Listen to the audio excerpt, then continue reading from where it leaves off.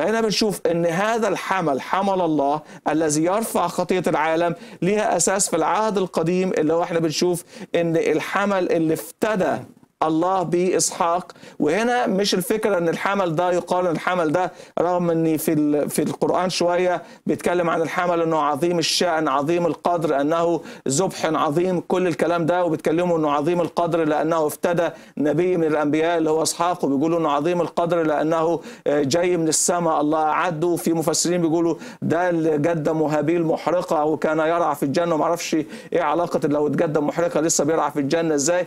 المهم إن قصص كتيرة لكن الهدف منها إن إحنا عندنا واحد افتري اللي هو إسحاق. وعندنا فادي. مين الفادي في القصة؟ الله هو الفادي. في العهد القديم في سفر التكوين 22 وفي سورة الصفات آه، 107 ف- آه، لأننا فديناه بذبح عظيم. فالاثنين إحنا بنشوف أن الله هو الفادي هو اللي بيقدم الفداء للبشرية.